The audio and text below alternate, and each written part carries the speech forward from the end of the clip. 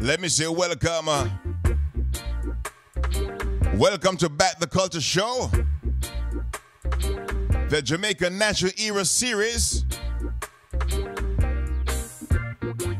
As we tell the stories of our national eras. Tonight, as we continue the journey, it's all about Mr. Paul Bogle. As we celebrate his life, uh, his contribution, and to tell his story. We have a lot of great guests lined up for you. We got some wonderful speakers lined up for you. It's going to be a very educational evening. But before I go any further, do me one favor, just one favor. Call somebody, text somebody, DM somebody. Tell them it's time for the Back the Culture show. Let me say good evening to the entire team. They have put this show together. As we celebrate y'all, Paul Bogle.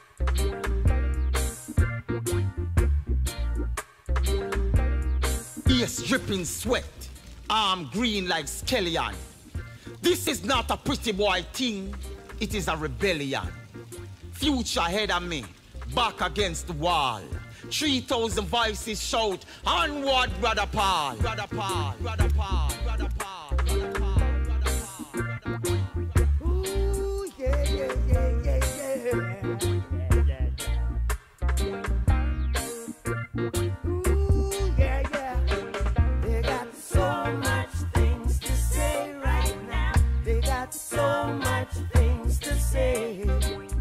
They got so much things to say. We have so much to say this evening. So much things to say. Hey, but I'll never forget no way. They crucified Jesus Christ. I'll never forget no way. They sold Marcus Garvey for rice. Ooh, I'll never forget no way.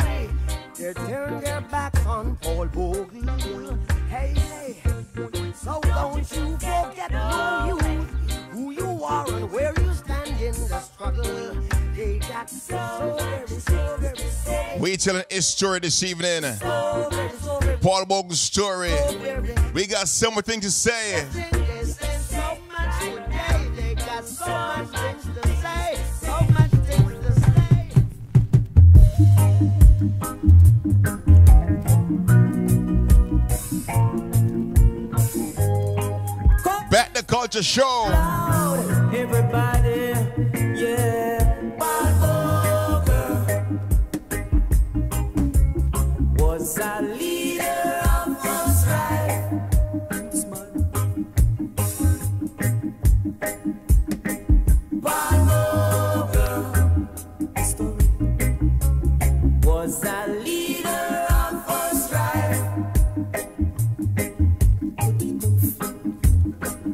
He traveled a long, long way across the valleys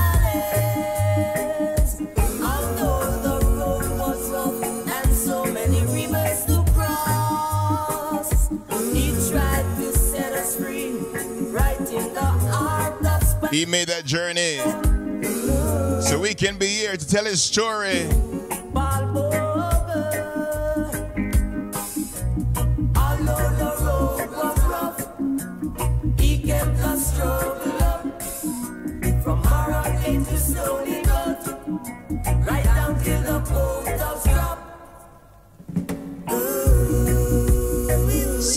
Say his name loud. That's right.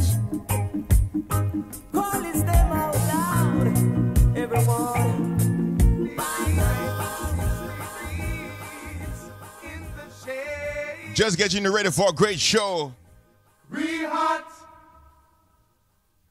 The life, the legacy of Paul Bogle. 96 degrees. Back the Culture Show. The shade. Jamaica National Era Series. Hot, oh yes, in the shade.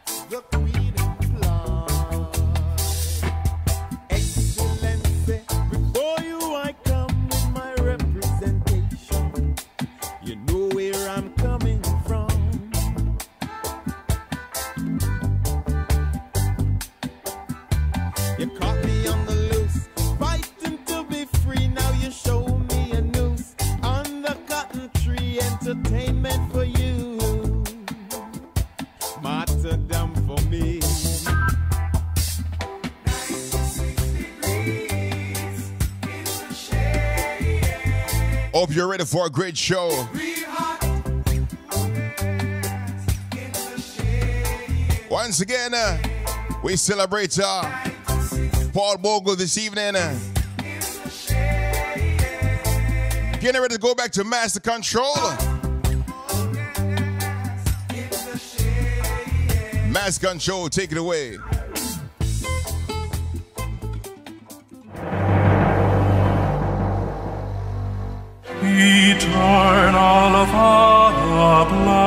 Our land. Guard us with thy mighty hand. Keep us free from evil eyes. Be our light through countless eyes. To our leaders, great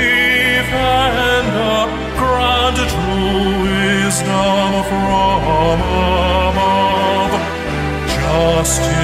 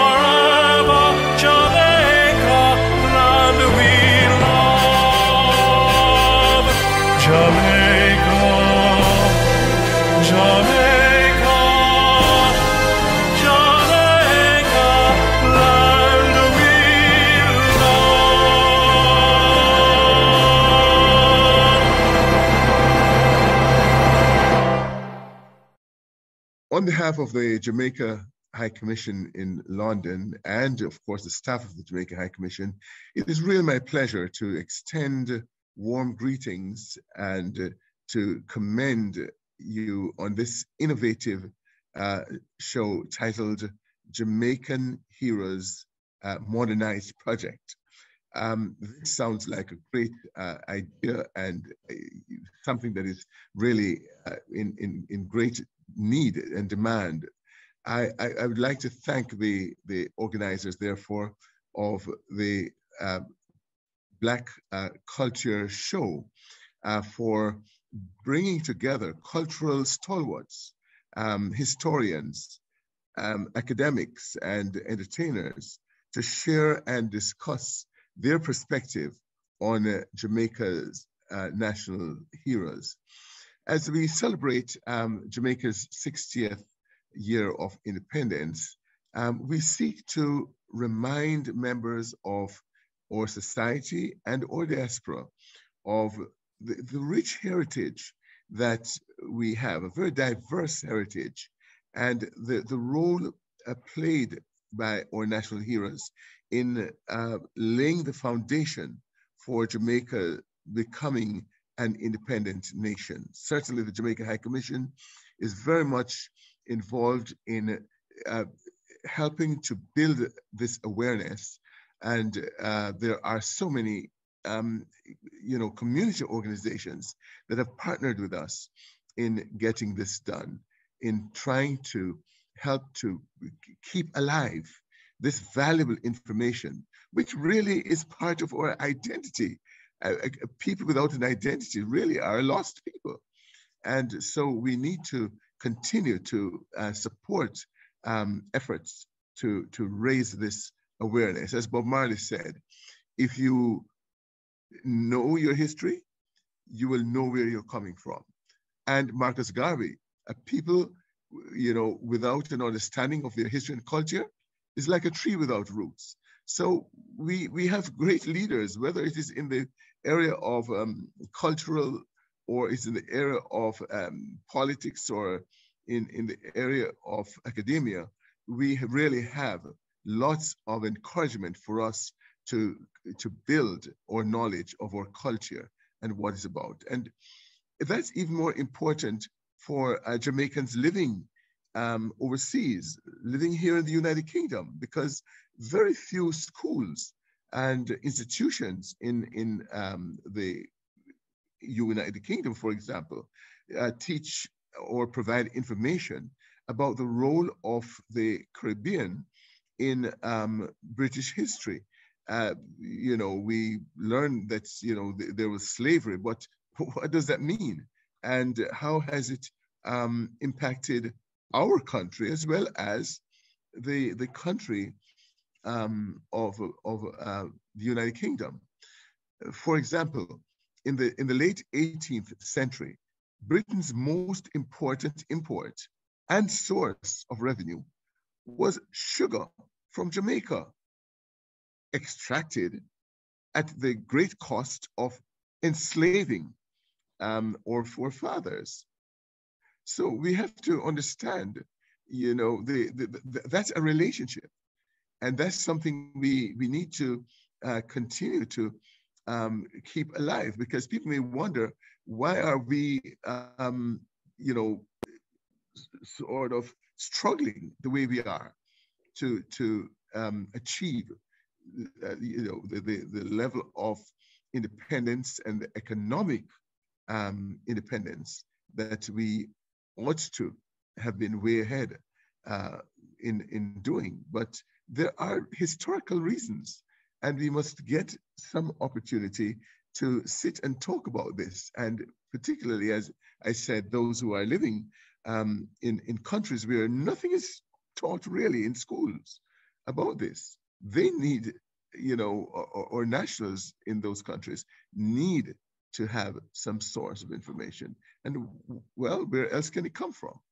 If it's not being taught in schools, it's going to come from efforts like these um, that you know try to promote and help to build uh, their awareness. We need to learn about the fight of uh, national heroine Nanny of the Maroons against slavery in the first half of the 18th century. By she literally, with along with her companions, defeated the, the armed forces of what can be considered to be the most powerful, the superpower of um, of their day, uh, you know, of, of the day back in the 18th century. Um, to have, you know, a woman leading the charge and achieving to overcome to the point of, you know, some limited uh, levels of freedom was a great um, achievement. And that would have sort of stirred the, the way or prepared the way for you know many others to come. We need to be aware of, for example, the role of Sam Sharpe and his rebellion, um, you know, against the, the, the, the enslavers and to have eventually played a role in bringing about an end to slavery and the, the rule of the, the uh, British Empire um, over the, this enslaved people. We should also be aware of Paul Bogle, William Gordon, and you know what they did in the Morant Bay uh, Rebellion uh, back in 1865. These are part of our history of, as a people. We know more about European history than we know about or, or local, um, you know, Caribbean, um, you may call it colonial history. The, the, the, what the, our forefathers went through in order to, um, to survive so that we can be alive today, so that we were not all wiped out the way the Arawaks, Arawaks were.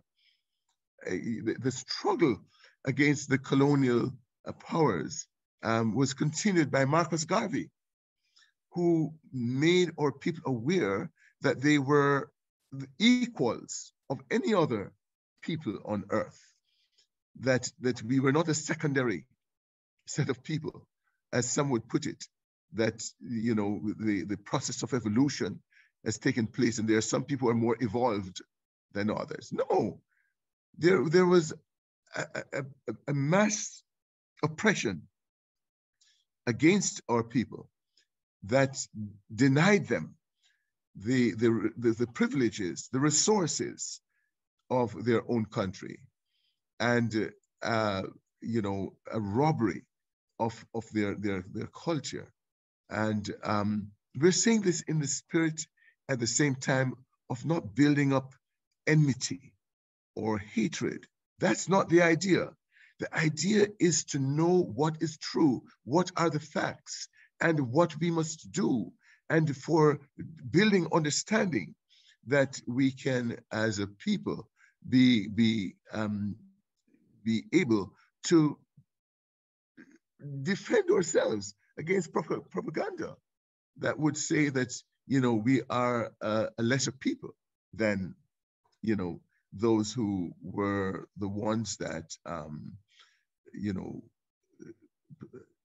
deprived us you know of the resources that uh, we um, we were entitled to that we had in our own country africa.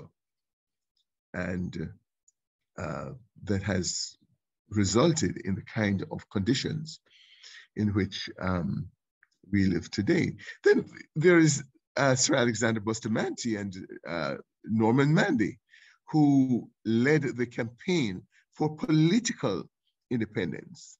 That's how come we're independent today.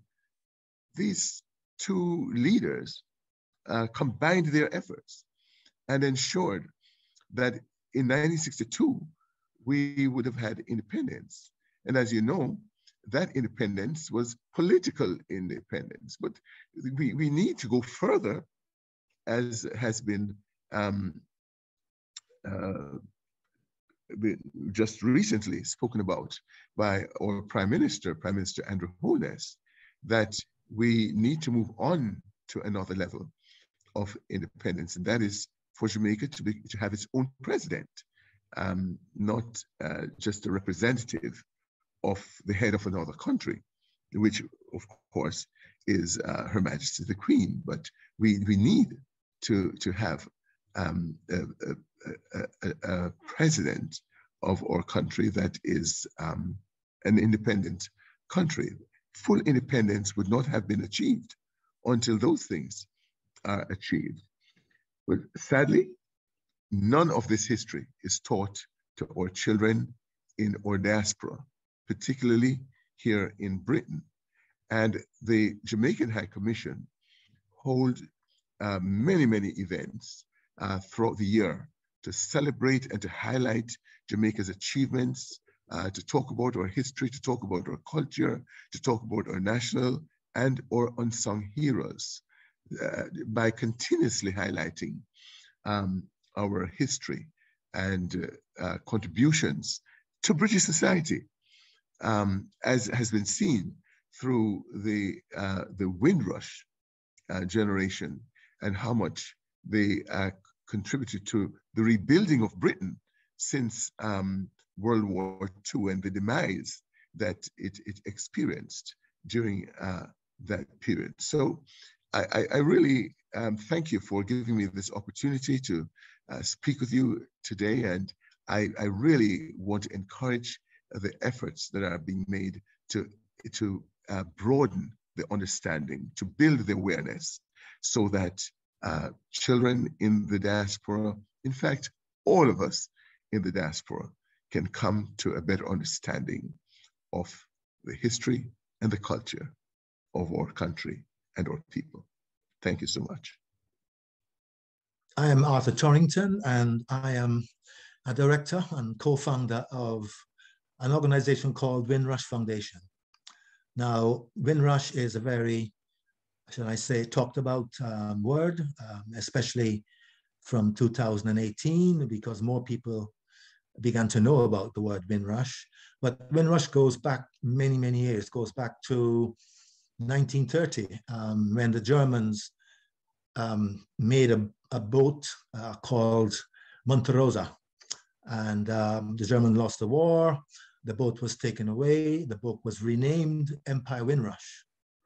And therefore, that ship docked at Trinidad, then docked at Kingston, um, then uh, Cuba, and then uh, Mexico, and then Bermuda, and then it came back to Tilbury Docks here in England. Now, uh, it's an important ship because that ship um, included a gentleman by the name of Samuel Beaver King, uh, who was born in, in Portland, uh, in Jamaica. And uh, he was the one who really came up with the idea of, of Windrush, Empire Windrush, being an, an iconic ship, um, as iconic as uh, the Mayflower. And um, not necessarily in terms of all that those those those two ships uh, meant, but um, he wanted the ship um, Empire Windrush to to represent, you know, the, the settlement of West Indian people in the UK, and you know he succeeded. His idea that he constructed in May 1948, he pushed that idea through, and in 1988 he actually organized the 40th anniversary of the Empire Windrush, the rival. And um, in other words, the, fourth, the 40th anniversary of Windrush Day, because Windrush Day, the first Windrush Day was 1948, the 22nd of June.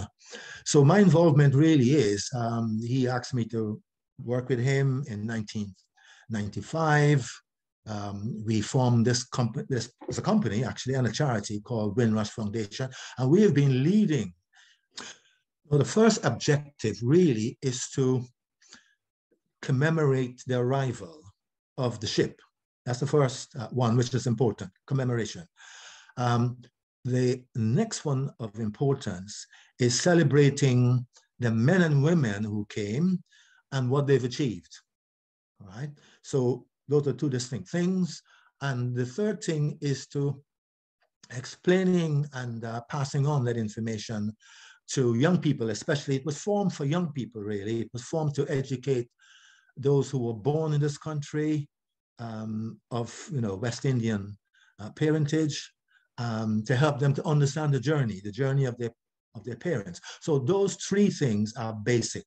Education is the third one, and that's what we actually do. Yes. Now, the thing about the ship um, when the ship landed, or even before the ship landed, the, the British government um, had information circulated saying that 492 Jamaicans were arriving, were coming.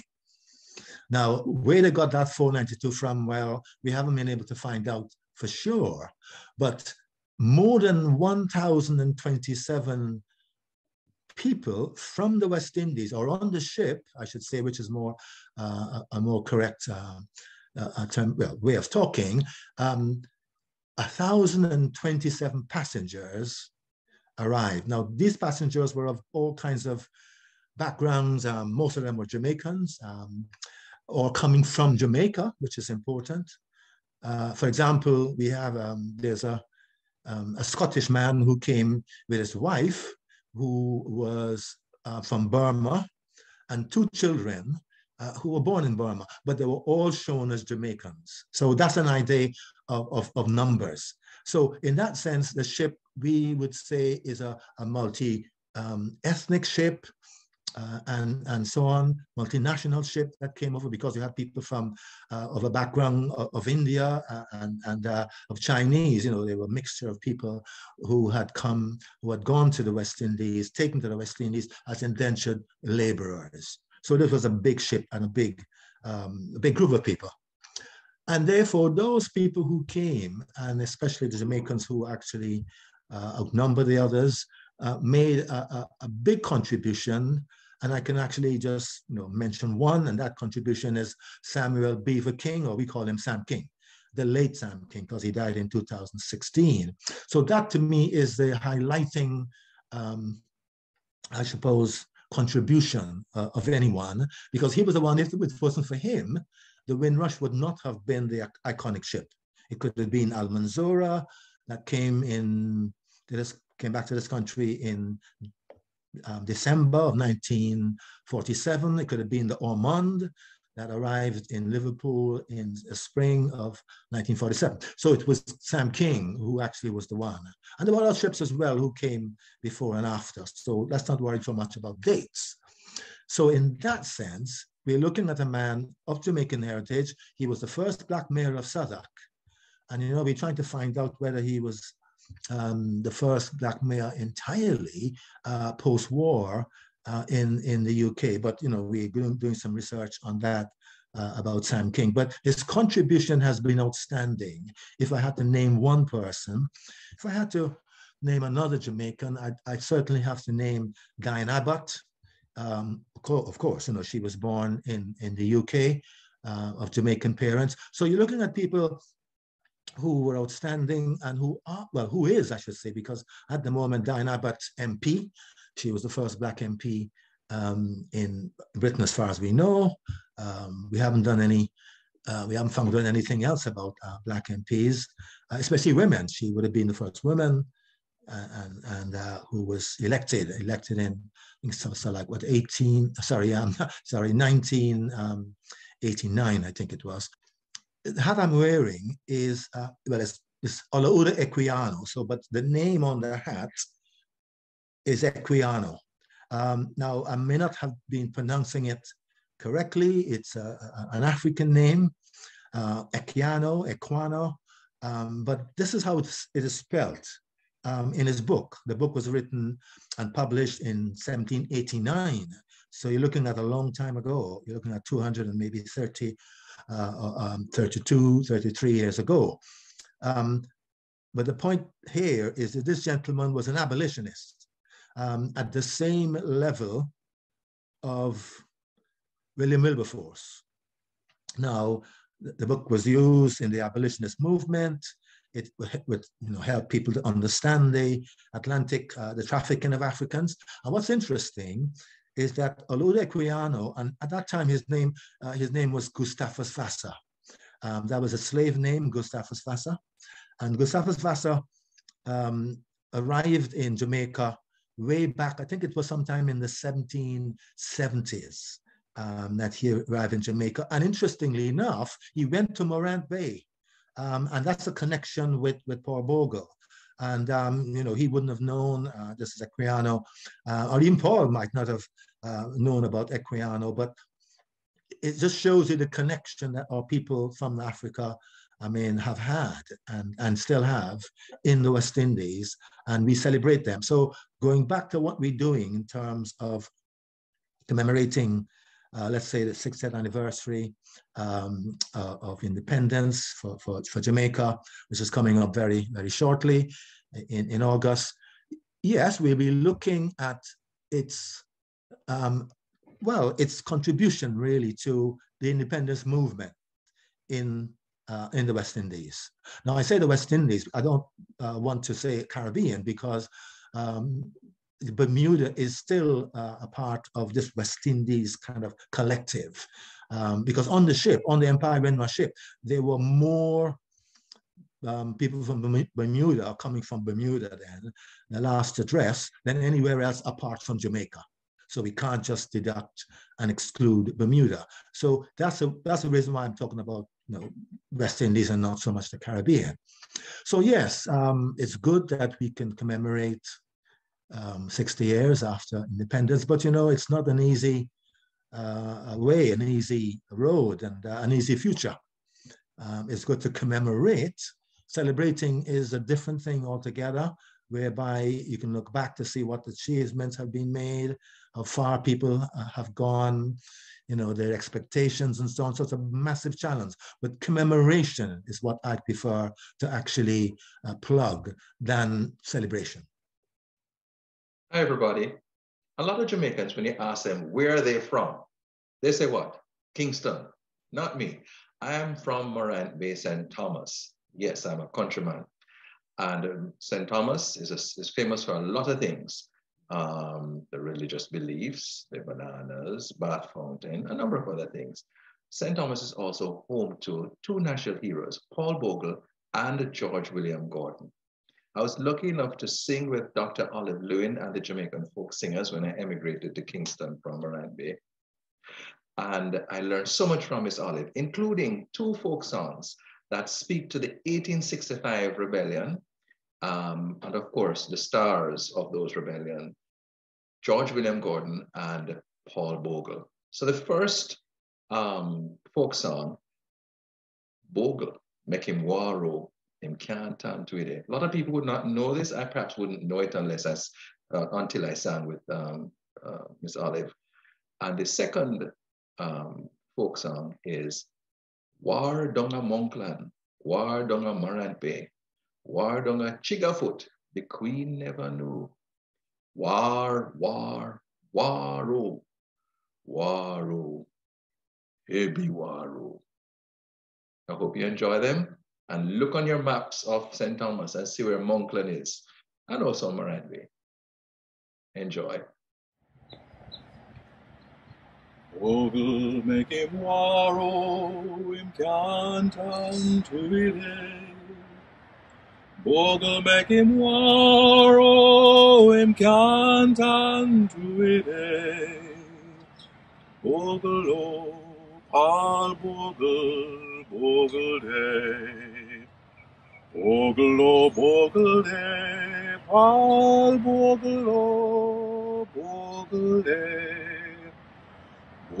make him waro, him can't unto it. Bogle, Paul Bogle, Bogle day. Bogle, oh, Bogle day, Paul Bogle, oh, Bogle day. Bogle make him waro, him can't unto Bogle, away. Bogle make him waro, him can't unto it. Bogle make him waro, him can't unto it. Bogle, oh, Paul Bogle, Bogle day. Wardonga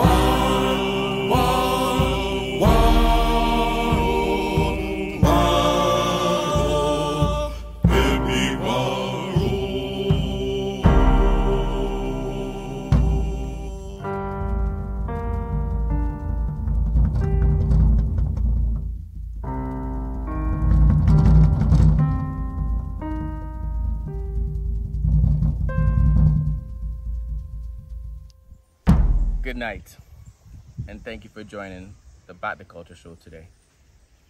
Um, as you can tell, it's not night where I am.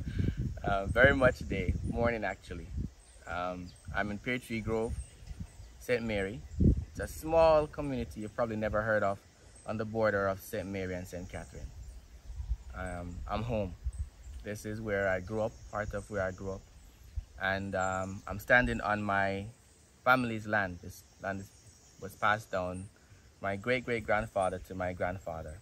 And as I look to the left over there, we have our family cemetery, where my grandfather is buried, my grandmother is buried. But coming back home, you know, always, it roots me. It brings me back to where I came from. I hear the stories that people share about my past that I have forgotten. Stories about um, my ancestors, my grandmother, my grandfather, that I never heard before. And also, you know, um, just gives me a chance to reflect on who I am today and, you know, coming from these humble places, um, you know, just gives you that a different perspective. So, as I think about the Jamaica Heroes Modernized project, um, I was up here just kind of meditating. As you can tell, there's a beautiful view. Um, I don't know if the camera catches it, the perspective well enough, but there's a valley behind me and a beautiful hill that goes up. Um, and if you listen closely, you might hear some um, river, which is down there. But connecting back to our roots is important. And the Jamaica Heroes Modernized Project is about doing that. It's about connecting the Jamaican community, the global Jamaican community, back to our roots, who we are, where we came from, our stories, the things that we've forgotten, things that we shouldn't forget and the things that we don't know that we need to hear. And our historians and authors and scholars are a part of this project. That's what they're here to share with us today. Each month in the series that we have going on, the National Heroes series, we're going to be telling a story about one of Jamaica's national heroes. In January we did Queen Nanny. Last month we did um, Sam Sharpe. This month we're doing Paul Bogle and we're going to do that chronologically going all the way through to Bustamante. Now, as we tell the story, we want to connect everybody back to their roots. Connect them back to the stories of their ancestors. Connect them back to um, who they are as Jamaicans.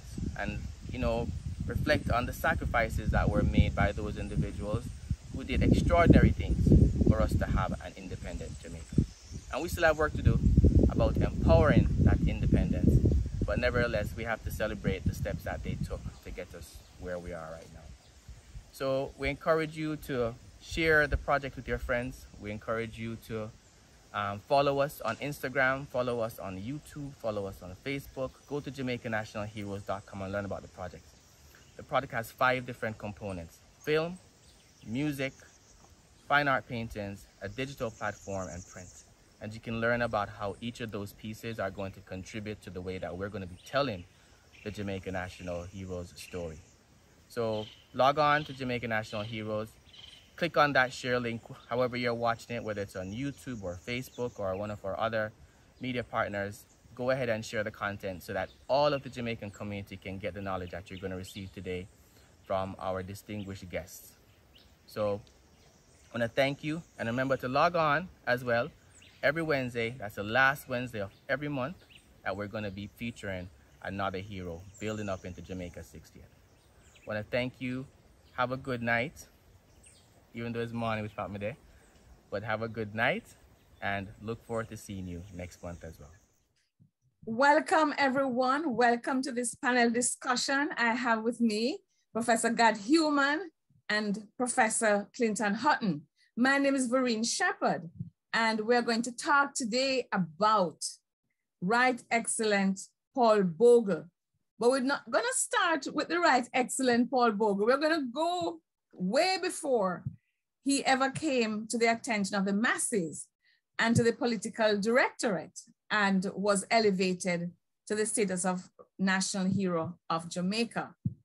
But you know, we have these series of conversations on our national heroes and our Dege Dege heroine.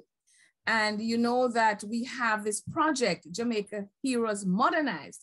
And so this is part of that project, that larger project. And within that project, we have these conversations, and they're intended to bring out more than ordinary people know about these excellent icons in our society. History is not a compulsory subject, so sometimes young people have no access to the depth of information that we're going to hear tonight.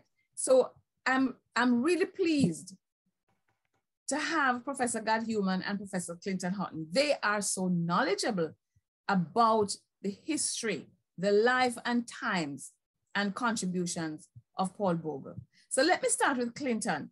Clinton, we're going to ask you who was Paul Bogle and all of that.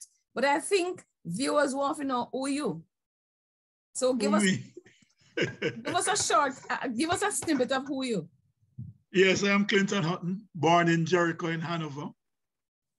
Studied the Morant Bay, have been, have been, have had interest in Morant Bay from I was 10 years old, never stopped. Um, I am a professor of Caribbean political philosophy. I am an artist, visual artist, and photographer. And I, I just like to talk about and to read about and to study about my forebearers. Okay, and you're also an artist, uh, uh, and meaning, you know, you can verbalize outside of the textbook, and you're also an artist, and you're yes. painted, and that interest in painting has been there for a long time, right? You've painted from I was three. Bay War. Okay. From I was three. What? Yes, and I've actually done a, a, big series of paintings on the Morant Bay War as well. We look forward to that exhibition. Yes. Now to um, Professor Gad Heuman, who I think has known me before you know me, Clinton. I think so. Prof, you, you know, you have been in Jamaica so many times. You know our nation language. Who are you? Uh, so uh, I'm a professor emeritus at the University of Warwick. Uh, I've worked on the Caribbean for as long as Verene Shepherd has been alive almost. Uh, and I suppose what's relevant here, um, the author of this book, uh, The Killing Time, which is a study of the Morant Bay Rebellion in Jamaica. And okay. it was an incredible pleasure and interest for me to have worked on the Morant Bay Rebellion. Like Clinton, I have had an interest in this rebellion for as long as I can remember. Uh, okay. Partly because of the figure of Bogle, of course, but also mm-hmm. because of all the other figures who were associated with it, many of whom are lesser known, but mm-hmm. who were nonetheless extremely significant in the period of Paul Bogle. Okay. And uh, do you still teach at all? Even, okay. I, I am retired from teaching, but I'm carrying on with research and with organizing Caribbean seminars in London. And I hope that uh, we will have Verene and Clinton at some point to visit us, at least on Zoom, if not in person. Okay. Well, thank you. Now everybody knows about you and your work. But I still have another personal question. And let me start with um, Clinton again. Why you, when did you get interested in this? Or when did you start writing and researching? And, and why were you so interested? Yes, I've started writing about um, Paul Bogle from in the 70s, late 70s.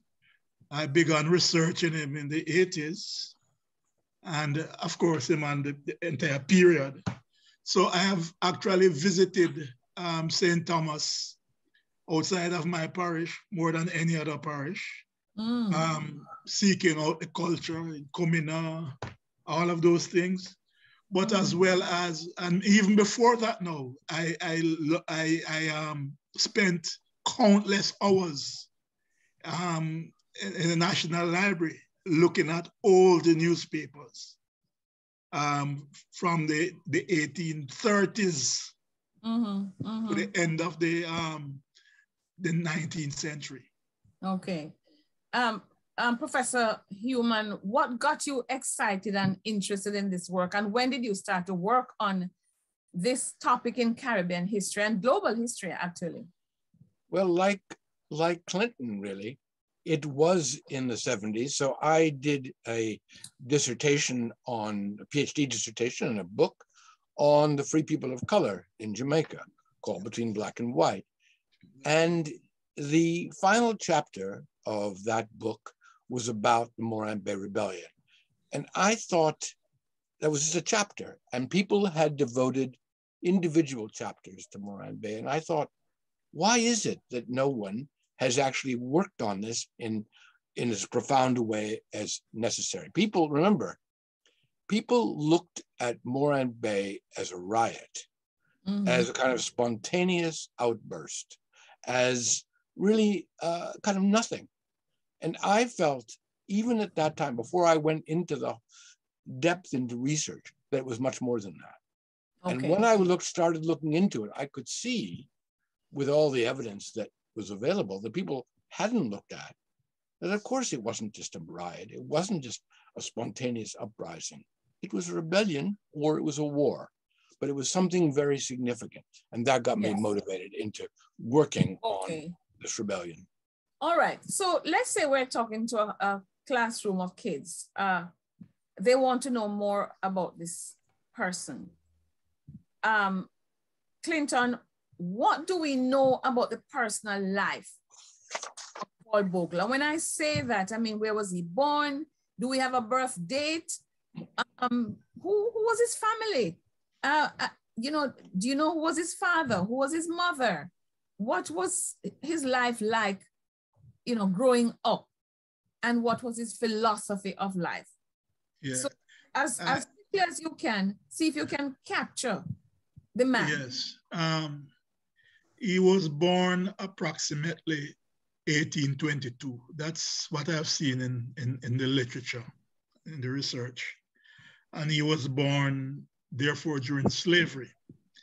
So by, by emancipation, 1838, he would have been 16 years old. Um, he became very much after emancipation in his political activities and other act, social activities became very, very important in the parish of St. Thomas in the East and in his association with George William Gordon, um, who became a member of the House of Assembly, Assembly in, in for representing St. Thomas in the East. That is oh, um, Gordon. Um, and uh, he could not have won without Bogle. Bogle oh, was a mobilizer of the people who respected him. In fact, he was called at certain point General Bogle. At another point, Lord Bogle, just like how Alexander Bedward was called Lord. Um, he was also called Lord. Um, a number of Jamaicans saw him as a as a king, and um, is is um, he was broader in his scope and movement than his parish, and therefore was known in Kingston um, and known in some other parishes. And uh, he, has, he has also um, been traveling at some point with George William Gordon. In terms of his philosophy, uh, clearly after emancipation, when, when he really had his strides, there was a general belief that emancipation was not enough. The freedom of the people from the chains was not good enough. And hence what you have is a slogan pretty much talking about what freedom should mean. That slogan is liberty of person, liberty of land. That is to say, um, the people who are free from enslavement uh, were free, free from enslavement, but the land was still enchained mm-hmm. to the the, the, the, um, the slaveholders in particular. Did he have land himself? Did he himself have land? His family had after that he had he had land. He had mm-hmm. um in fact um some sources say over a hundred um, acres of land. He was a farmer. He was into beekeeping. He was also, along with his brother, a baker. Uh, he owned horses. Um, so pretty much he belonged to that first group of the, emer uh, the emerging Black Jamaican Okay. middle class that we Mhm. call it own account people. Okay, own account people. Yes. To add to that? Who was his mother? Who was his father? Did he have children?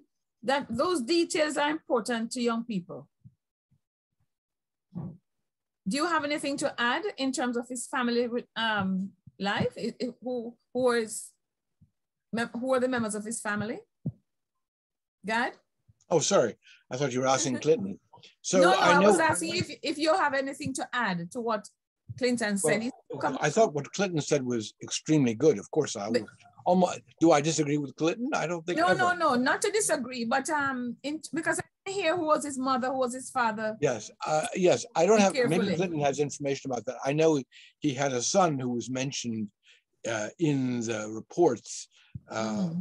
once he was captured. But I think that what uh, to, to add to what Clinton has said, um, he was, as Clinton said, a, a farmer, a landowner.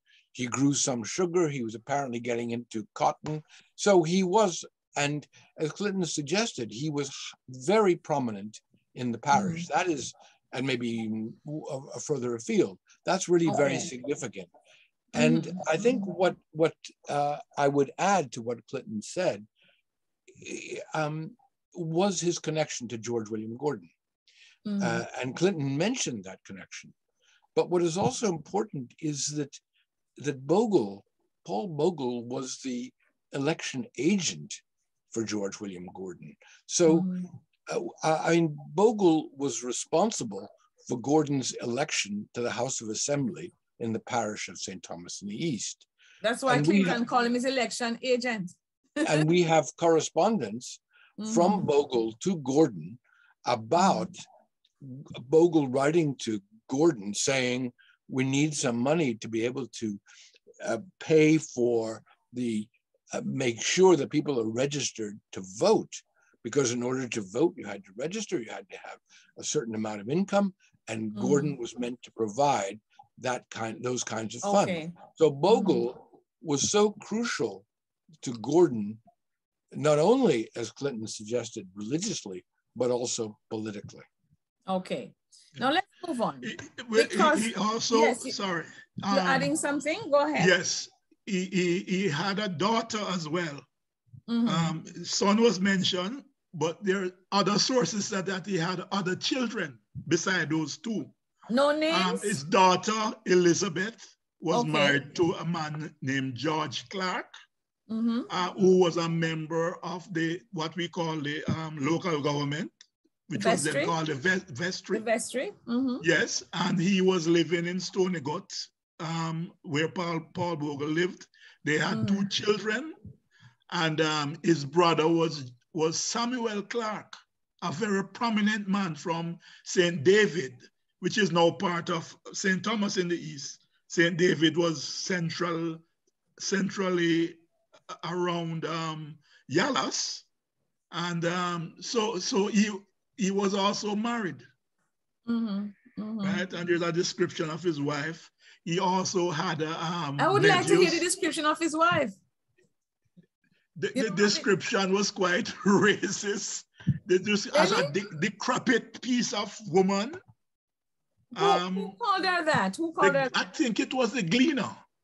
the gleaner? Yes, right, right. Uh, and that he, uh, she was describing her complexion as yellow, Oh, right? okay. Right. His And, mother, uh, he, I know his and mother he might, she might have, had, uh, she might have had elephantitis. I see. One of her leg was bigger than the other. The, the, the leg and uh, issue with the leg. Um, Yes.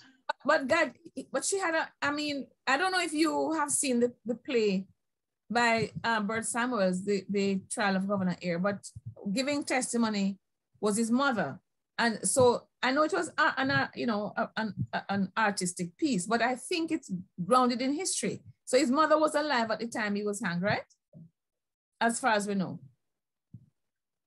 She could have been. I don't know, but she could have been. She would have been quite elderly by then. But By she then. could have been, yes. All right, let's move And he, on then. and he had a brother, Moses, of course, who was Yes, who older was than him. also, okay, okay. Yes. I'm curious though about how he accumulated the money to buy so much land.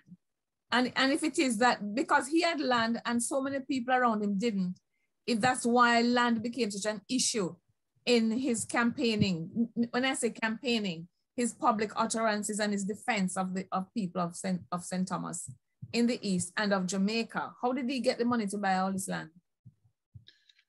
I am not sure specifically, and I am Mm-hmm. not sure what that relationship would have been with George William Gordon. I see. think some relationship there would have been appropriate. I see. Um, Of course, the, the land issue was a prominent issue, not just in St. Thomas, but across Jamaica. Across, that's it was right. the um, liberty of person, liberty, Liberty of, of- land. of land. And, and his, sec, his secretary, um, James McLaren, who was 22 years old in, in 1865, James McLaren actually advocated that land be given to the people for Mhm. free. Yes. He, that, I mean, he has addressed meetings saying that. Yes. You know, so um, the Um, land I, think. I think I think it's quite.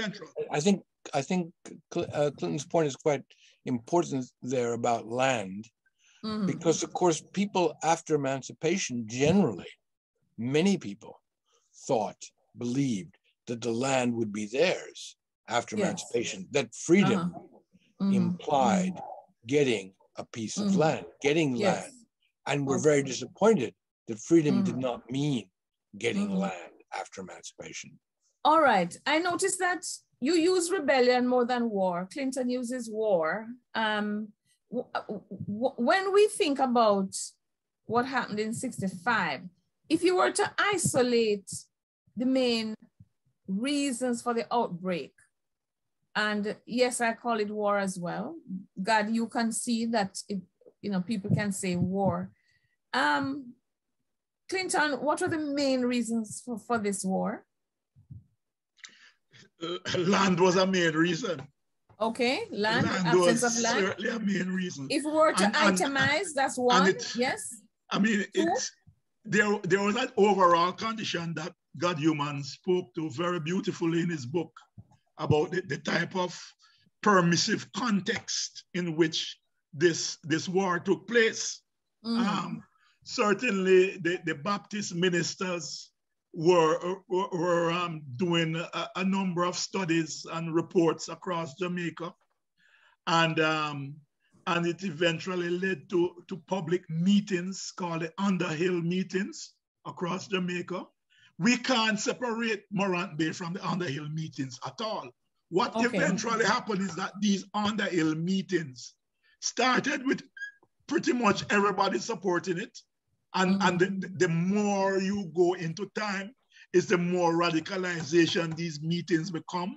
And it's the mm-hmm. more, it's the masses of people Right. who dominated these meetings and took over these meetings. And there are reports in the press in Lucea and other places where these meetings were right, really contentious.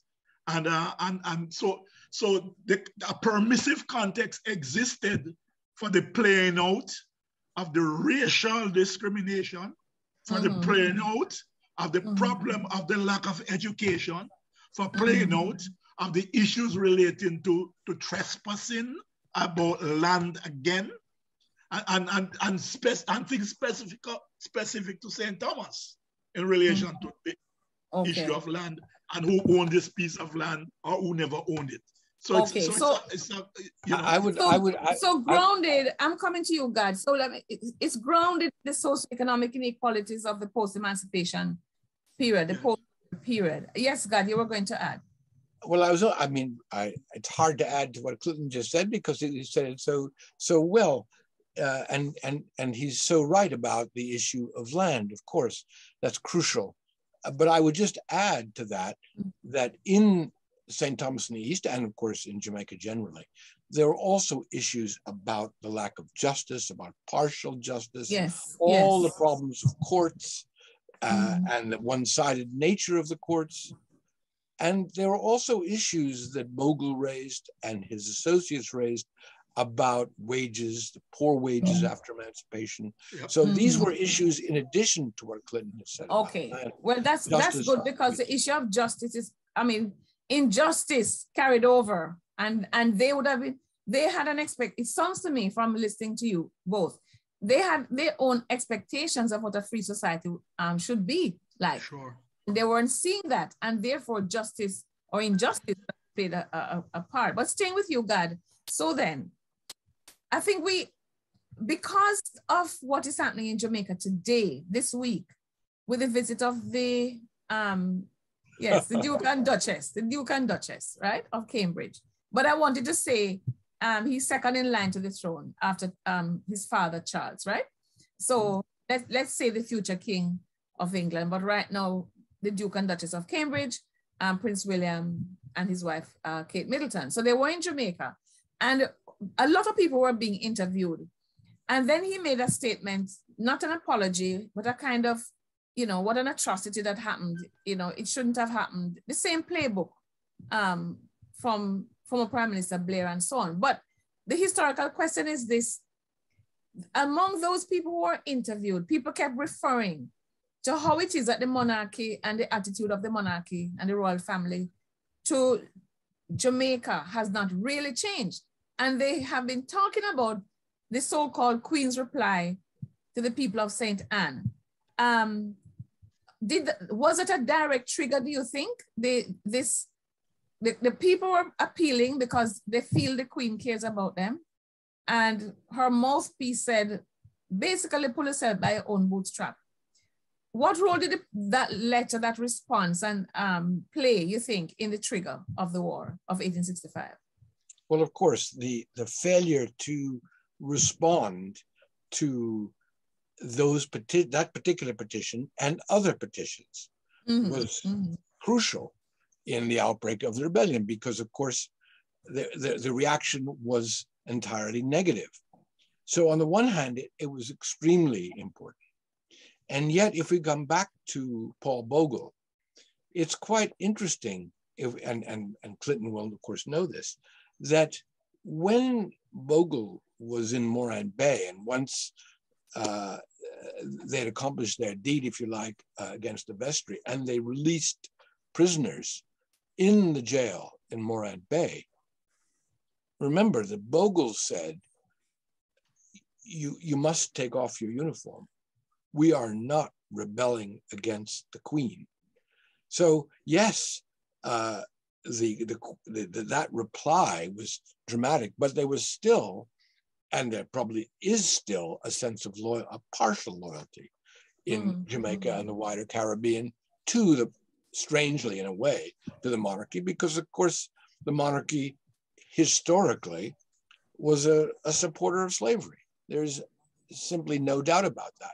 So Prince William could express regret, which is the least he could possibly do. I mean, when you think about the, the stain of slavery, you think that that is a kind of minimal statement at best. Mm-hmm. But I, I, guess nobody was expecting him to do anything else because he was given a directive. He, he can't go outside of that. But all right, so let's get back now. So we have established who was um, Paul Bogle. We have established the conditions around that time in Jamaica and the tr- socioeconomic trigger and even the political trigger um, for the war. Um, Clinton, what happened exactly in this Morant Bay War? What happened in October 1865? Yeah, well, October this, 11, the Morant Bay War. What happened? Yes, October 11, 1865 was a Wednesday. Yes. But mm-hmm. prior to that Wednesday, um, the, the court ordered policemen to go to St. Um, go to more, um, Stony Gut to apprehend a number of persons who were prior to that at a, at a trial at the Morant Bay Courthouse in which, which um, Bogle and about 200 persons went in solidarity with a, um, a man who was charged for trespassing. And before that trial could have taken place, another person was being tried and um, somebody and was was charged and fined. And somebody accompanying Bogle, who was in the courthouse, shouted out, pay the cost, but not the fine. And so it was interrupted. And, and uh, the, the, the, um, the judge ordered him to be detained. And he ran outside into the crowd. And of course, they could not take any action there. And so after that, things cooled down. Um, warrant was issued for a number of persons. And so they went there, I think on the Saturday, to, to, um, to, to, to um, deal with the issuance of these warrants and to lock up these people, to, to find themselves locked up um, and, and, and were told to swear to cleave from the white and to cleave to the blacks. That is, that happened in, in, in, in St. Thomas, sorry, in, in, in Stony Gut. And, um, and of course, what, what, what happened after that is that they were released. A letter was drafted, um, signed by about six persons, including E.K. Bailey among them, and uh, McLaren, and um, to the governor. And this letter was really telling, you know, it says that we have been under this situation for 28 years thereabout, that is since emancipation, um, under the condition imposed by them by the, the plantocracy in that parish. And that they're not going to put up with it any longer. And mm-hmm. that if, and, and that if you, Governor Eyre, cannot do any anything about it, we will be forced to put our shoulders to the wheel. Mm-hmm. Which is right? exactly what happened. yes. Exactly what happened. Yes, because mm-hmm. even before the letter actually reached, um, things broke out. Mm-hmm. Um, people on, on, the 10th of, of, um, of October 1865, there was a team meeting in Stony Gut. It was said to be attended by about 400 persons. Most of them stayed over that night. Stony Gut was the headquarters of the Bogle movement. It was where their chapel was. And in fact, one of the, the, the, the, um, the policemen who was detained there said that he saw seven men being sworn in by Paul Bogle in his chapel. Mm-hmm. That each mm-hmm. of these men had a cutlass, mm-hmm. that they were made to kiss the Bible, that they were given a drum, that's their word, his word, a mm-hmm. drum of gunpowder and mm-hmm. rum to mm-hmm. consume. That Bogle spoke to them in a language that he did not understand. That language is still spoken ritually in St. Thomas. It's Kikongo. What language was it? Kikongo. Kikongo. And, and in fact, further research showed that they were three or four um, quote unquote Africans, old mm-hmm. Africans, mm-hmm. living mm-hmm. in Stony Gut, yes. and they are buried there. Yeah, which is so, which is which is okay because we had a post-slavery African immigration to Jamaica anyway. 1841, the first set came. When I say immigration, I mean it was a kind of indentured laborers. Liberated Africans. yes. Um, you know, by right. the but okay, and they were let, mainly from the Congo. That's right. No, mainly from the Congo. And that's God, where coming up. That's where coming came up. from. Yes. Came from. Yes. And um, by the way, by the way, some of those Congolese people were at Stone from Seven Rivers, seven miles, were in Stony Gut on that day and helped to detain those policemen. Mm-hmm. As you mentioned this, uh, the, the, the issue of don't pay the fine, don't pay the fine, appeal. And I just wanted to introduce this. It was a lecture given by ICJ judge, um, Patrick Robinson, His Excellency yes. Robinson. Yes. Yes. I, I, think he has been trying to get them distributed to all schools. So it's about the Morant Bay War in simple um, language that the kids can understand. We're talking about the, the aftermath of the war now. We, so Clinton has brilliantly outlined what happened. What were the main um, shock waves afterwards Gad? What do you know about the aftermath of the war? How many people suffered and all of that? Well, I think it the killing time. Yes. I, I, O- of I- I course, I think- yes. That's Yes. that's his book, The Killing Time. Yes, yes, what's your yes. book? What's your book about? Um, what's the title of your book, Clinton? Color for color, skin Color for for color, skin. skin for skin. Right. Okay. Yes. All right. I think I That- think it's I, I think it's important to to add to what Clinton suggested Mhm. about organization Yes. because in Stony Gut, when those policemen came, Bogle and his associates were ready for them and they were organized. So, of course, the police were totally outnumbered. They couldn't deal with it. Uh, and, and to follow on that, as they marched, as the, the hundreds of people from Stony Gut and elsewhere marched to Morant Bay, they marched in an orderly fashion. They were organized, led by Bogle, but they marched in an orderly fashion. This was not a kind of ragtag group of people. No, it wasn't was just a spontaneous uprising. It was planned. all that was discussed previously, Yes. I think was yes. wrong. It was organized. They knew what they were doing. Where did so? Mm-hmm. Where did they go? To even add to that, where did they go first? They went to the police station. Why did they go to the police station?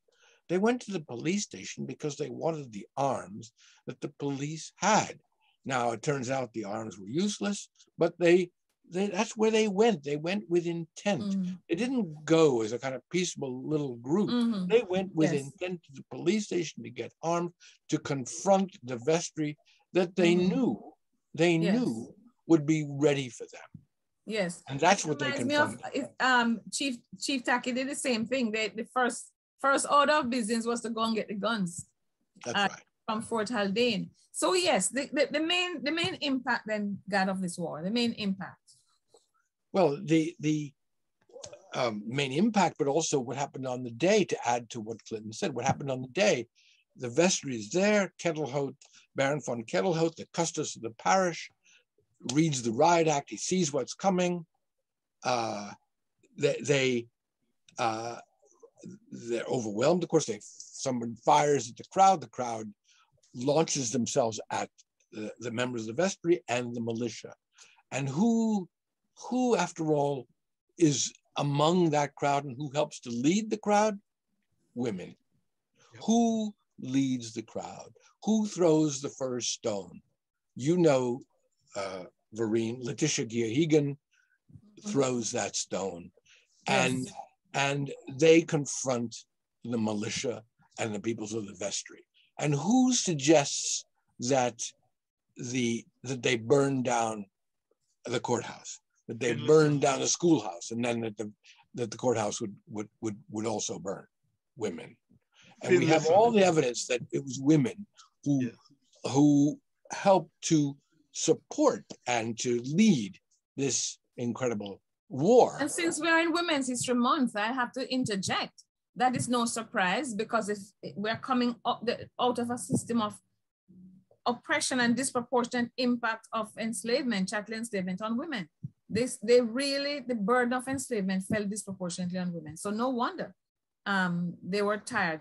Can't live like this again because they've endured it, or ancestors, or you know, endured it under. And, and one of one of the interesting things also was that women were reported to have said.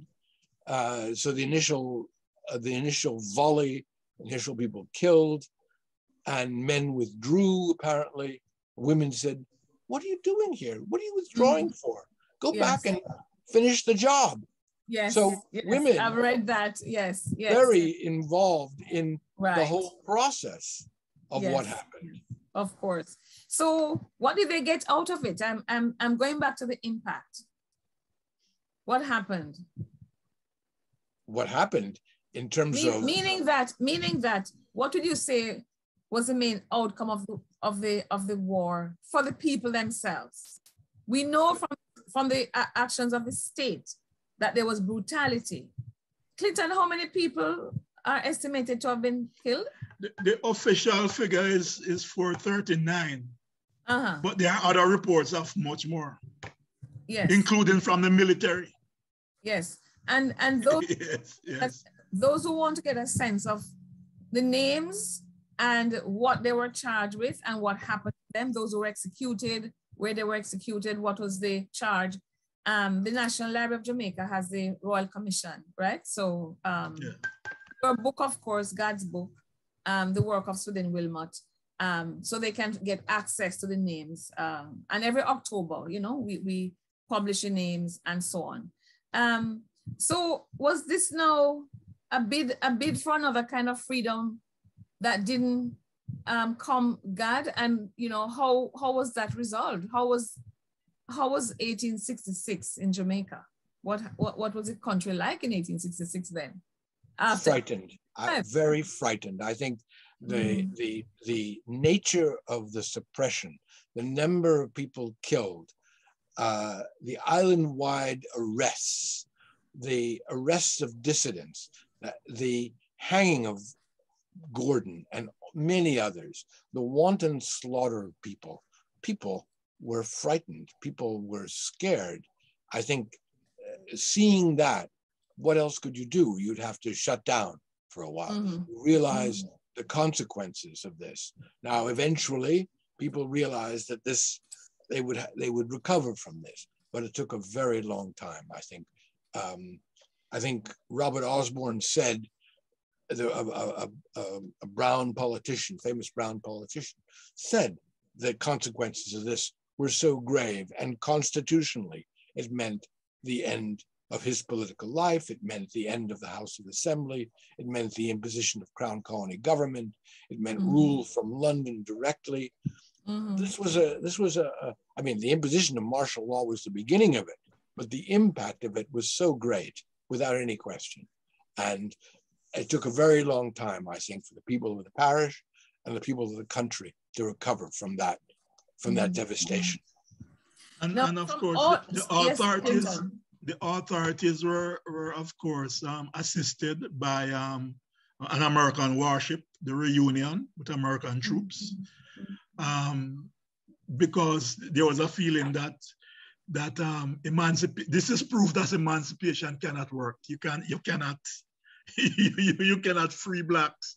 You can't take them out of the authority of white people, and and therefore um, the American who who just came out of the Civil War actually mm. sent a warship, the State Department, a warship mm. with sailors, with they soldiers. had to suppress the war. Yes, yes. yes and, and, yes. and the Spanish authorities in Cuba did the same. They sent two yes. warships. Yes. I'm glad right? you said the Spanish authorities in Cuba because sometimes you just say Cuba sent to help to suppress without understanding right. the political situation of Cuba. So I'm glad you mentioned that. Right. Oh, now, you know, I want to ask about Gordon because there were people who were saying, why is he a national hero? They believe it is okay for Paul Bogle, but not um, George William Gordon. Gad, what would you say to those people who are doubters about the rightness of his elevation? I think those people would need to look at Gordon's actions in the 1860s. I think they would need to look at his role in the House of Assembly, one of the only people who was speaking for the formerly enslaved people, the only people who was who had a kind of radical platform, who actually wanted to aid the people of the country. So, of course, I think that his role and his connections to Bogle were so significant that yes, I think given his given his politics and given his connection to Bogle, yes, I think that he absolutely okay. should be mm-hmm. elevated to the position that that uh, that he was. Yes. Uh, but um, Clinton was was Gordon the only person to be hanged who wasn't actually in Morant Bay when the war broke out? No, but he was the most prominent of them all. Okay. And okay. Um, but I agree with with the, the statement made by by by Gad mm-hmm. about him. Um, he fully deserved to be a national hero. Mm-hmm. And, and the House, our parliament being named after him mm-hmm. is well placed, I think. But you know that people are kind of opposed to that. Even yes, he was an assemblyman and all of that. Feel he wasn't the primary hero, so the house shouldn't have been named after him. But we can quibble over that. that conversation will continue. No, from the very thing that Gad said about about the about his role in the house. Yes, yes. I mean, He really should. This man is a very special man. I'm just The saying people of his color will still be and there. class at that time Yes. were on the side of the suppression, Uh-huh. and th- their names are there. And he stepped out of his class position too. Yes, and they call him a traitor. Yes. Well, he had a black mother, right? So he had some he had sentiments. Yes, his mother, his mother was was colored, Uh-huh. Uh-huh. right? No. So- now there even though you have both described his upbringing, his family links, the conditions of an, uh, of the post-emancipation era, all of that. Um, there are still controversies about Bogle. People say, what did he look like? Gad, when was the first time or the earliest you saw any image of Paul Bogle? Well, there is an image in my book that everybody has seen of the picture that was uh, ascribed to Paul Bogle. But recently, or in the last few years, people have said that is not really Paul Bogle. So I'm not sure if Clinton, I mean, Clinton could, of course, produce a, a wonderful work of art about Paul Bogle, but I'm not sure. We, you know, do we know? Have we settled that, Clinton? Do we No, know? I, I, I think they, they, they- there, there was a thing about the American, African American inventor, Thomas Jennings, Mhm. right? Thomas, Je- Thomas Jennings died in, in 1856. Uh, when the first time somebody asked me about this photo, and, I, and it being Thomas Je- Jennings, I dismissed that immediately. That photo seemed to have been taken in, in the studio of the, of the two brothers um, who have taken photos of George William Gordon and other, and other persons. Okay. And it seemed to be the same studio. Plus that Uh-huh. that type of photo that was taken, Mhm. um, Thomas Jennings would have died before that that that um, that type of um, photography Mhm. Mhm. and that type of material.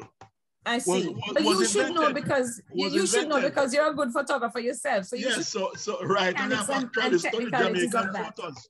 But Yes, the original, the, the picture originally came from uh, I think St. Thomas by a member of the Jamaican Historical Society in the 1960s or 50s, Mhm. who um, was told that this is um, Bogle's photo.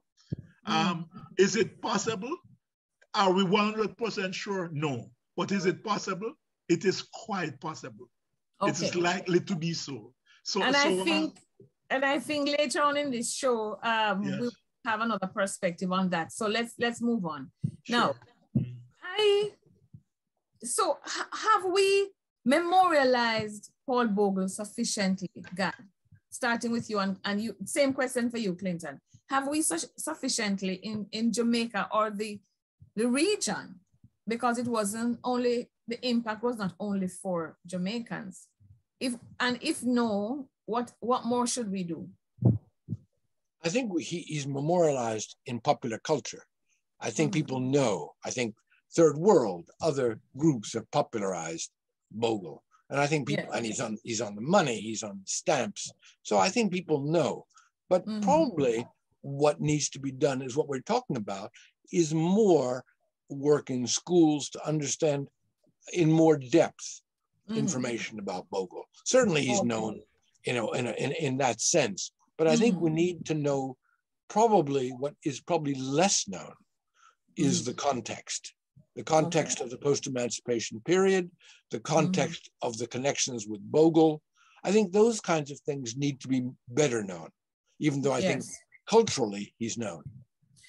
Clinton, people are talking about the monument must go back up. There was a monument there, was an Edna Manley sculpture. What was there controversy over that monument, Clinton? Well, the, the, the, it was made from a man named Bagan, Mhm.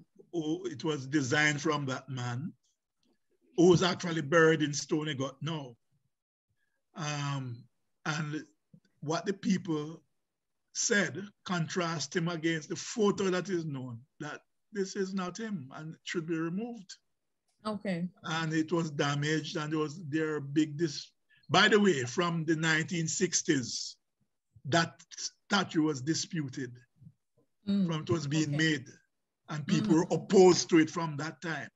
Right. Uh, the opposition only grew stronger over the Mhm. years, Mhm. right? And therefore, people are calling for another um, A more realistic likeness. more realistic uh, one. Clinton, where is it now? I think it's at the Jamaica National Heritage Trust. Yes, yes. Mhm. Right. Um, so we, I hope in this Jamaica 60th in, of the anniversary of Jamaica independence, 60 years on, we will resolve this and put something there.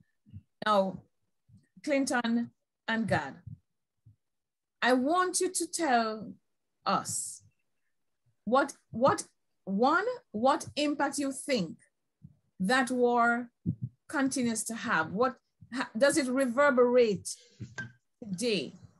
What is the contemporary significance of a knowledge of that war? Um, Gad. I think I think the, the the the contemporary relevance should be, whether it is or not is another question, is the fact that Bogle in particular resisted oppression. I think that's the key. And I think that he did so in, in a variety of different ways over a variety of issues having to do with the nature of post-emancipation society. But I think the relevance ultimately is the nature of his resistance to it. So, Clinton, you live in contemporary Jamaica. Do you think that that memory will inspire people to take action? Um, because if you think about it, the society is, still rife with inequality, classism, anti-Black racism, whether we like it or not. So what lessons from Bogle should we take to try to fix our society? all that G- Gad has, has said is, is quite relevant. Uh, what is, of course, what is relevant is the issue of, of capital as part of the condition of freedom, access to capital as part of the condition to exercise freedom, the ability for people of African descent to make their own living. That was what Bogle was about.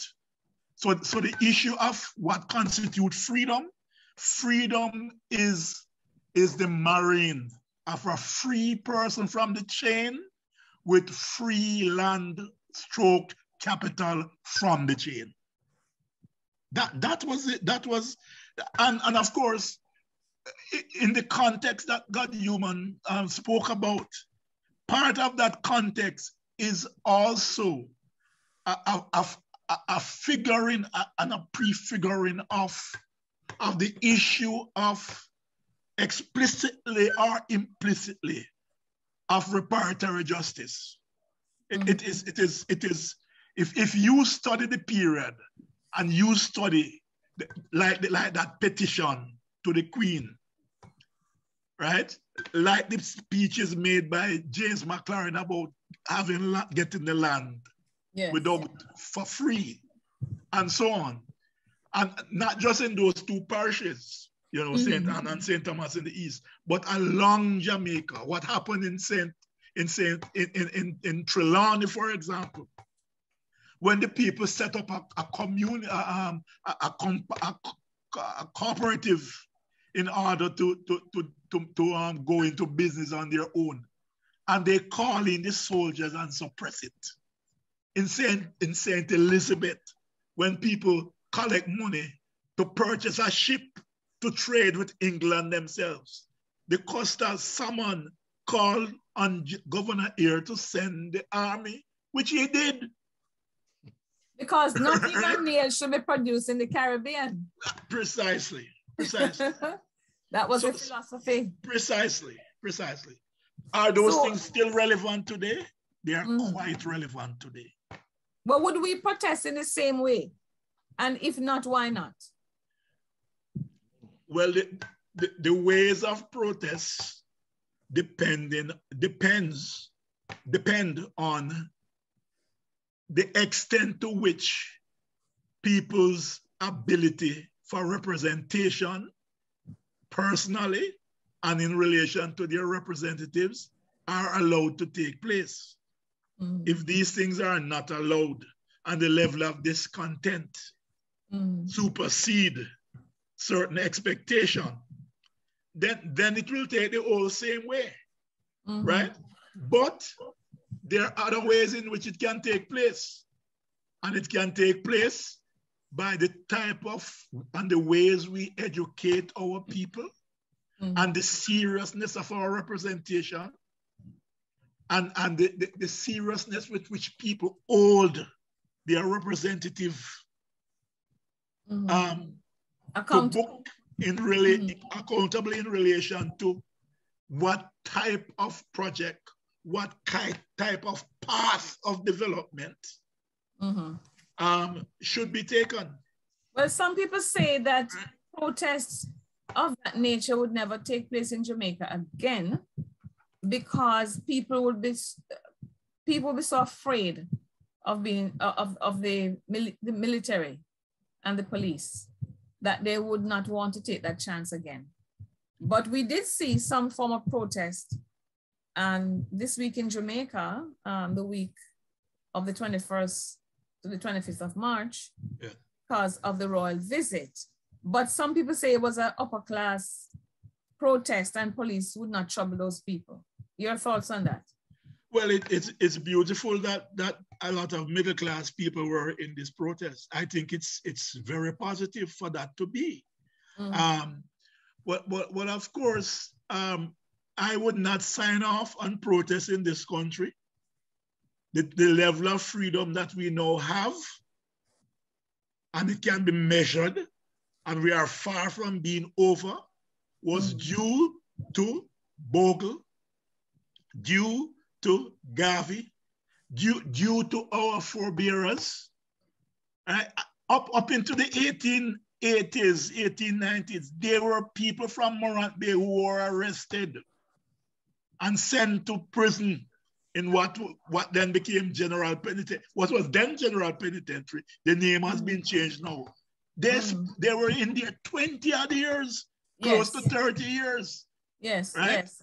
And, and when an, and when one governor, Musgrave, I think it was, yeah. um, tried to say uh, they could be free now because Morant Bay quiet, they can't go back there and they wouldn't cause any trouble. Um, the state still didn't free them, but precisely. So protests are not yes. over in this country. Okay, it will never be over like in that. this country because mm-hmm. the, the, the, the, level of problems with in relation to freedom mm-hmm. in relation to justice, fair play, justice. Um, from the extent, realized. It, it, the issue of poverty, the mm-hmm. issue of just ignoring people as if the mm-hmm. country is not, as if they have no say in their own country. We mm-hmm. can't rule out protest. So, Gad, listening to Clinton now, uh, you have done the research and you see, you, you know what happened in the 19th century, the actions that people took even up to the 1930s, the labor protests and so on. So if what he's saying is the reality, what did those people suffer for then? Well, I think I think that what Clinton emphasizes very important ab- about representation. And so why did Bogle and McLaren and all those people have to protest? They had to protest because there wasn't a representation effectively. Uh, yes, they had George William Gordon uh, in the House of Assembly, but George William Gordon, we hadn't discussed this, but George William Gordon was thrown out of the local vestry. One of the things that bothered Bogle, of course, was the expulsion of George William Gordon from the vestry. So I think the significance of that and the significance of representation so that people feel that they have a vote a voice and a mm-hmm. vote that matters i think that's what's significant and we need to need to make sure that that continues That's what I Okay. think the issue. Each time I try to wrap it, the conversation becomes so interesting because again, there are those in St. who- in St. Thomas, which the parish is now, who say, yes, we want like a realistic image of, of Bogle. And then we have other researchers saying, well, the way Bogle was described in the text, people know people with their ideology now wouldn't want to really see hmm. that. so we will have the historians will have to get together with the artists and we see with artists and we see what happened. But there are also those who are calling for a wall of remembrance because they say one hand alone can't clap. And while there's no opposition to this elevation of Paul Bogle to the status of national hero, people are calling for a wall of honor for the other, I don't know, Clinton, 439, you say? It is entirely appropriate. It is entirely appropriate. We should even be talking about it now. Yeah. We should, we should have had it. Yes, um, we should have had it. Yes. But but uh, or Yes. and and we should also recognize. In addition to that, absolutely, we should also recognize those people who were all who were also dissidents who were rounded up. Um, yes. Um, Clarks and William Kelly and uh, Sidney Levien and all those people who were rounded up, some of whom lost their lives, some of whom were just jailed. All of those people should be From across the remembered. country, from Yes. across Jamaica. Yeah, That's a good that's a good point, Clinton, Yes, because it wasn't confined to the east and parishes. Yes, yes, yes, It wasn't confined to Morant Bay. In fact, um, when I look at the list of those who were hanged or shot, um, and by the way, can you clear for the students what's a court martial? Because when you look at the list, they see court martial, court martial, court martial, you know, going right down the list. What's a court martial? Any of you can do It it? is really a period of military rule when the Yeah. authorities are, are just- um, it's just, uh, So there's no trial. to So when they, when the they say they're of- tried by a court martial, it's just a military court. But, Well, they had but no- the they had- average they had no trial, when you do have trial, used to take about three minutes. Yes, they had no. There was no defense. there was really no trial. Okay, okay. Effectively.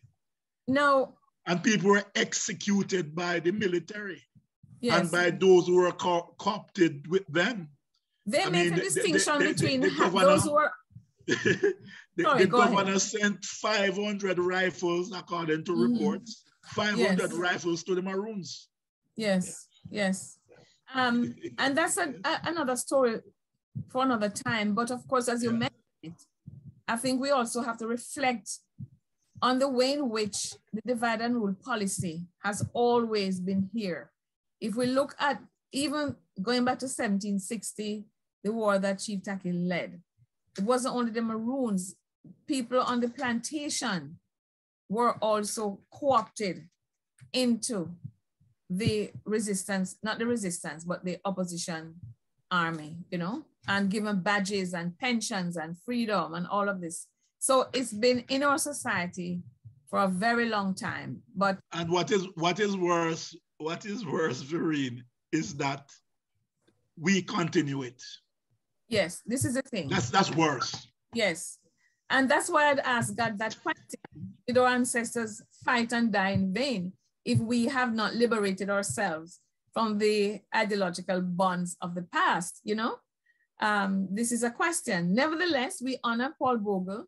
We've had a great discussion about who he was, what he thought, what he did, and why he has been elevated to the status of national hero of Jamaica. But as we wrap, I couldn't, I couldn't end this conversation without asking you for your, your last words. You know, as we go, what message, um, what is your what is your last word on Paul Bogle and his importance, not just to Jamaica, but to far, far away from Jamaica? Um, again, let me start with you, Gad. I would say, remember Paul Bogle and remember what he did and remember his his colleagues and the people he was associated with, all of them. Mhm. Yes, Clinton. Yeah, the, the, the, the the only event, What's the the only takeaway? event that was bigger than than um, Morant Bay in 1865 was the, the ending of the American Civil War and the assassination of Abraham Lincoln. The biggest news in the world outside of that was Morant Bay in mm. 1865. So it was mm. a global event. And of course, we would need much more time to talk about the global impact, its impact yes. in Britain, and so on and so forth.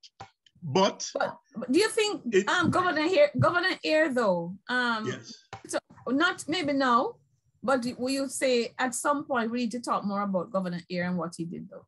Yes, and he died in 1911. Mm-hmm, mm-hmm, he died mm-hmm. in the early 20th century. Right? Now, got I his pension. That, yes, go ahead. No, he got his pension. but that's for some time else. yes, another time. Let's not take away. So we know then, for the sake of the children who are, who are listening and watching, we know um, George William Gordon was hanged on October 23rd. Can you remind our viewers and listeners about what happened to Paul Bogle and his brother and what was the date of their Oh, well, they were on the day after. The 24th. The 24th of October, 1865. Yes.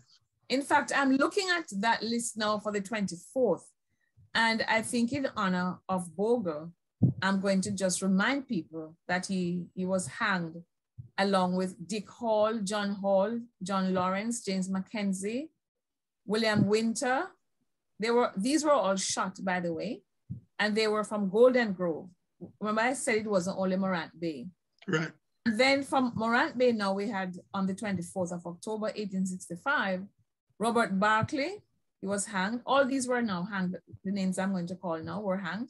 So Robert Barclay, James Betty, Moses Bogle, Paul Bogle, Robert Brown, James Bowie, Stephen Cameron, Williams Chambers, David Douglas, James Geoghegan, Thomas Holgate, James McLaren, yeah. you all talk about a lot. Yes. George Thompson, William, well, no, George Thompson was the last on that 24th, all from Morant Bay, all hanged. And yes. in memory we say, let's honor Right Excellent Paul Bogle, the subject of our conversation today, and all those who struggle with him. And remember that we shouldn't squander the sacrifices of our ancestors. That's where we wrap today. Thank you both so much. Very good. I'm Vivian Crawford, Executive Director, Institute of Jamaica, and I acknowledge the photograph of Right Excellent Paul Bogle, National Hero, 1969. It is my privilege and duty to be having this discussion about the authenticity of the image of Paul Bogle on the 60th anniversary of our independence and fortuitously working with Jamaica Heroes Modernized Project. Up to September 2012, there was much debate in Jamaica about the official photograph of Right Excellent Paul Bogle. Born about 1822, died 1865 by execution in the Morant Bay Uprising. He was declared a national hero of Jamaica in 1969. What is this controversy about the image of Right Excellent Paul Bogle? On the one hand, it is stated that he resembled Thomas Jennings, United States citizen, 1791-1856, African American, was given a patent for a dry cleaning. On the other hand, there are those who could not believe that Right Excellent Paul Bogle could have been that sophisticated to have a photograph taken. Professor Clinton uh, Hutton, that outstanding Paul Bogle scholar, would remind us that Paul Bogle was a successful small farmer, leader of the Baptist Church in Stony Gut. He built his own chapel and would always be remembered as Deacon Bogle. The story was put to rest about the authenticity on the 27th of September 2012 by a letter to the Gleaner by Mrs. Joan Vasiana, then president of the Jamaica Historical Society, that he had written, she had written to Jet Magazine to ask about the authenticity, the resemblance of Jennings with Bogle, and the editor replied that it was the image of Bogle, that it was the image of Bogle. And on, in a letter dated the 24th of September 1971, there was a letter to the gleaner by Mr. Ogilvie, who said he had meet, met Reuben Ewing, a direct descendant of Paul Bogle at Spring Garden, that is near to Stonygut in St. Thomas, and showed him a tintype image of Bogle. That is the picture that he took. He convinced him to give him the image, and that image is now at the National Library of Jamaica. Story put to rest. Remember what our own Professor Colin China said. And this, perhaps, this is what caused this doubt. Professor Colin China said, Our ancestors did not come through immigration, they came through customs because they were regarded as goods. And it's about time that, as Right Excellent Marcus Garvey said, that a people without the knowledge of their past, their history, their origin, and culture is like a tree without roots. So we say today, put that debate to rest. Up, you mighty people, accomplish what you will. Right, excellent Marcus Messiah Garvey. Thank you. As children, we learn the true meaning of being a hero. Being a hero requires great sacrifice for others. For others, not just ourselves. We learned about the heroes of Jamaica's past and how much of themselves and their lives they had to give in building a nation we should be proud to call home. They believed in a Jamaica that was more than just a country, more than just an island, more than land surrounded by water. They believed in a dream of a free nation of people. A nation built on the foundation of their sacrifices. A nation of many people working as one. A nation that would continue to produce legends and nation builders that serve towards that vision. As children, we were also taught the National Pledge, a solemn promise, an undertaking. I would like to believe Sir Hugh Sherlock, while writing this pledge, understood the vision and dreams of our heroes. It's clear being a hero is too much to ever ask any one citizen. Luckily, the pledge does not require heroics of any of us. It merely asks that we honor our heroes by striving to advance our nation and ultimately inspire the world, like they and many Jamaicans have done. It's important we remember those words. These words.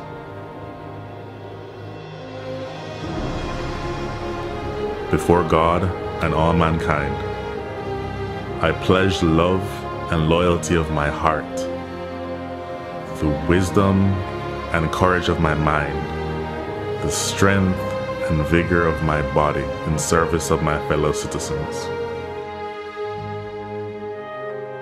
I promise to stand up for justice, brotherhood, and peace, to work diligently and creatively, to think generously and honestly, so that Jamaica may, under God, increase in beauty, fellowship, and prosperity, and play her part in advancing the welfare of the whole human race.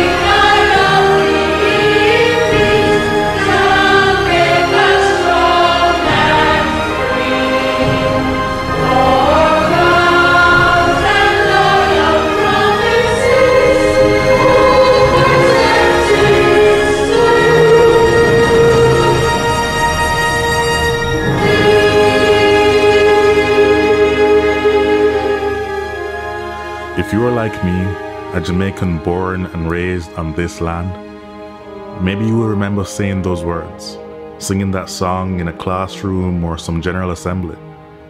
If so, like me, you made a pledge. Somehow it seems like many of us have forgotten that. The crime and violence, the indiscipline and short sightedness, the corruption, the lack of respect for our beautiful lands we are blessed with, and the waters that surround and nurtures us.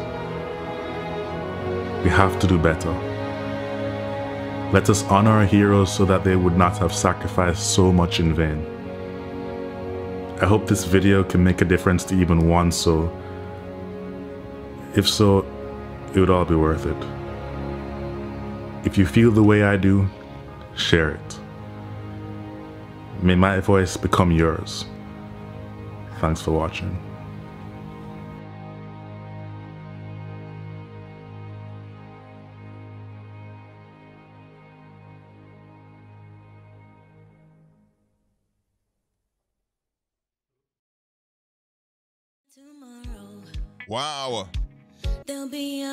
Just your international pledge.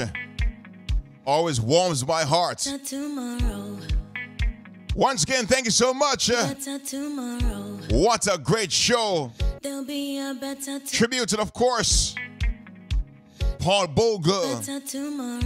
Can I say what again? There'll be a better tomorrow. I've been filled with so much knowledge. Tomorrow. Thank you so much uh, Be a better t- to all the wonderful speakers that shared great information. tomorrow. Thanks so much to the team There'll be a better tomorrow. that put this show together. There'll be a better Thanks so much to all the listeners around the world. There'll be a better tomorrow. The Back the Culture Show Be a better tomorrow. with this show and your support, Be a better tomorrow. There will be a better tomorrow. There'll be a better tomorrow. Celebrating Jamaica natural eras one by one. Today we celebrate John better tomorrow.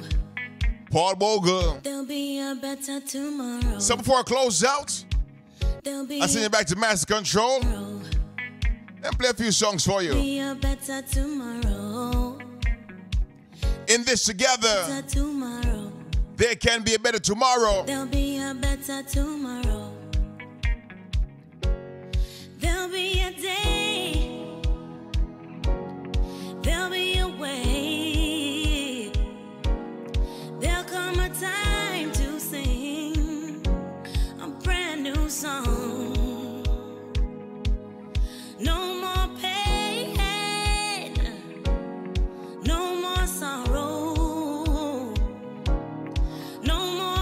The Culture Show. children, no more tears.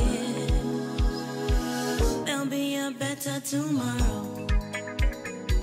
There'll be a better tomorrow. There'll be a better tomorrow.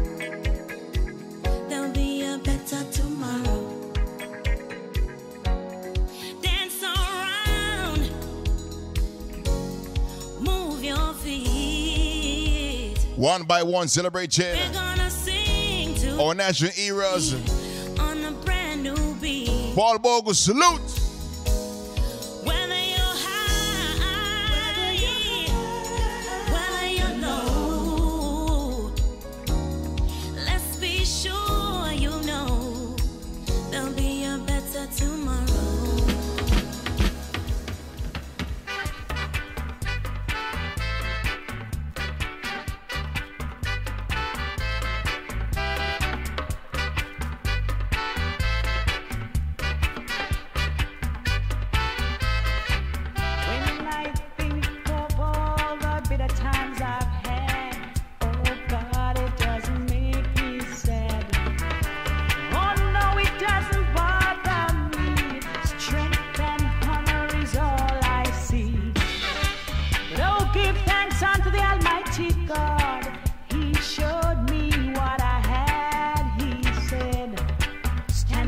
Journey, we might face obstacles, God shall be great. So now I see the but together, come make quick,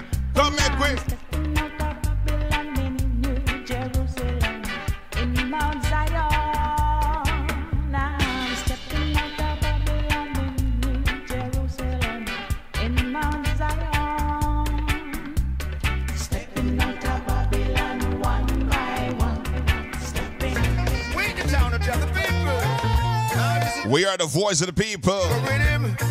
Back the culture show. Celebrating our national heroes.